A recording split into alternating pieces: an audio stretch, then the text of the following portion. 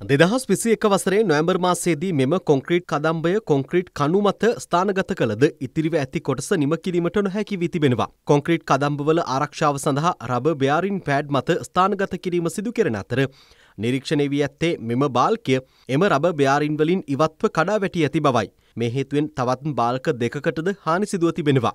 මෙම මාර්ග කොටසේ ඉදිකිරීම් දැනට සිදුවන බැවින් කොන්ත්‍රාත්කරුවන් මූල්‍ය පාඩුව දරාගනු ඇති බවයි මාර්ග සංවර්ධන අධිකාරිය සඳහන් කරන්නේ.